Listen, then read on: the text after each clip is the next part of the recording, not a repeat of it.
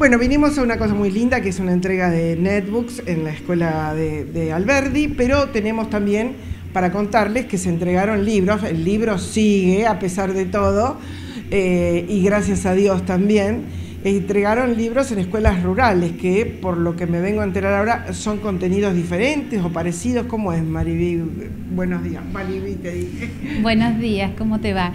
Eh, bueno, sí, la verdad que hoy eh, es un día de fiesta, como lo dije cuando me tocó hacer uso de la palabra, porque bueno, hoy entregamos 72 computadoras a los alumnos de segundo año de Escuela Secundaria 2 de Alberdi y la verdad que es un aporte muy importante, muy importante por lo que significa y muy importante desde lo económico también, porque permite enriquecer las propuestas pedagógicas y a su vez poner en igualdad de condiciones y de derechos a todos los alumnos cualquiera, cualquiera de los alumnos accede a la misma computadora y en las mismas condiciones. Así que eso para nosotros es una gran satisfacción y un gran logro. Y sí, como vos decías, en el día de ayer hicimos un segundo recorrido eh, con la inspectora de primaria y el intendente municipal, entregando libros eh, de matemática. Es una serie de cuadernillos, eh, de 10 cuadernillos cada bloque que se llevan los alumnos, en donde tienen contenidos matemáticas de primero a sexto año. Esto llegó, este, ya, hicimos la segunda entrega y nos falta hacer una más. Em, llegó para todas las escuelas rurales, para El Dorado, para Colonia y bueno, para todas las escuelas chiquititas que tenemos distribuidas en las distintas zonas rurales y también para Fortinacho. Así que bueno, la verdad que fue un... Te pregunto lo de los contenidos, pero no, lo que creo es que vienen todos juntos porque hay pocos alumnos. Claro. Los contenidos son los mismos de la currícula. Sí, sí, sí, los contenidos están ajustados al diseño curricular. La colección de, cuadernillos es de la serie Piedra Libre. Eh, bueno, los que conocen, digamos, la editorial saben que es muy buena y todo lo, todas las actividades que se programan ahí eh, están en concordancia con los diseños curriculares de primero a sexto de la educación primaria. Eh, por supuesto que después la, maestra, la docente encargada de cada grupo irá seleccionando cuáles de esas actividades son acordes a cada uno de los chicos. Y además me contaba fuera de aire que hubo una actividad muy linda que se entregó antes de las vacaciones para que los chicos leyeran y, después elaboraran los contenidos que habían leído. Sí, eh, es, muy, es muy lindo ver los, los, chicos cómo se ponen contentos cuando reciben libros. La verdad que, que se siga valorizando la utilización del libro es, es para destacar.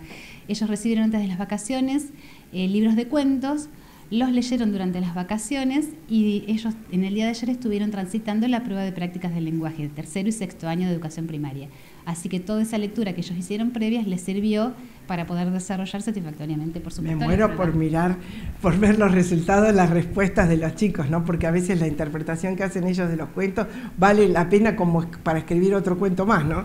Sí, porque realmente nos sorprende la creatividad y muchas veces expande las posibilidades de interpretación que tenemos los adultos. Sabemos que la imaginación de los chicos generalmente suele volar mucho más alto que la nuestra, eh, sin restricciones quiero decir. Así que sí, ayer también en ese recorrido aprovechamos y les fuimos preguntando. Y bueno, algunos prefirieron hacer la prueba de matemática y otros prefirieron hacer la prueba de prácticas del lenguaje. Eso también tiene que ver con el gusto y con cuál, cuáles son las habilidades que más tienen desarrolladas. Pero sí nos contaron de los cuentos, y bueno, nos contaron de las respuestas, y la verdad que sí. Este, muy lindo, me imagino, un lindo momento. Y mira vos lo que me decís de matemática y de lengua, cómo siguen siendo las dos ramas, después por supuesto están naturales también, pero siguen siendo dos ramas para que, porque por lo pronto los que somos de la rama humanista nos llevamos re mal con las exactas y viceversa. Cómo desde chicos ya manifiestan más inclinación hacia un lado que para otro, ¿no? Sí, sí, sí, siempre hay como una división ahí por los que se inclinan por las prácticas del lenguaje y matemática. A mí particularmente me gusta mucho más matemática, por ejemplo, pero sí cabe destacar que después cuando uno empieza a analizar y a profundizar están todas las áreas relacionadas, porque bueno, lo que es prácticas del lenguaje, el lenguaje lo necesitamos para todo, para la matemática también, porque cuando resolvemos un problema no es solo resolver el dato numérico, sino también a veces es fundamentar el porqué. Desarrollarlo, como los teoremas, como muchas cosas de matemáticas. Entonces, eh, todo tiene que ver con todo y bueno, los aprendizajes, por supuesto, que se van, se van integrando, pero sí, sí, los chicos manifiestan los gustos, por supuesto. Así como se va integrando lo, lo cibernético, lo informático con la lectura, como vos decís que está bueno que no se pierda del todo porque tiene mucho que ver con lo que vos decís, la imaginación que es fundamental que uno tenga porque hacia la creatividad y al desarrollo incluso después profesional, ¿no? Claro, porque a ver, no hay que decir ni que es mejor el libro ni que es mejor la computadora. Todo tiene que ser usado y depende de la propuesta pedagógica o de la situación o del contexto, es pertinente en este momento utilizar un libro o utilizar una computadora. Yo creo que todos los recursos tienen que ser utilizados y cuanto más diversificados estén, mejor aún.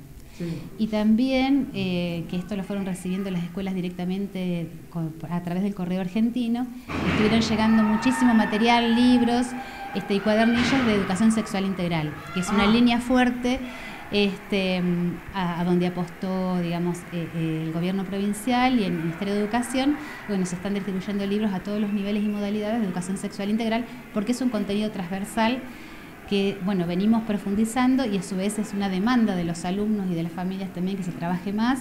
Y bueno, este, eh, la dirección de escuelas tomó esa, esa propuesta y la estamos profundizando. Me encantaría, eso vale una nota aparte que ya la haremos, me gustaría después hacerme con los textos y después hacemos una nota porque es un tema eh, difícil de abordar en principio, pero después resulta muy fácil porque si te basas en las preguntas que van haciendo los chicos van saliendo las propias respuestas, ¿no?